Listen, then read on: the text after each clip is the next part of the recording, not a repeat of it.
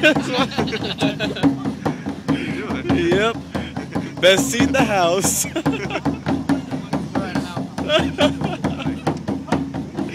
He's drunk.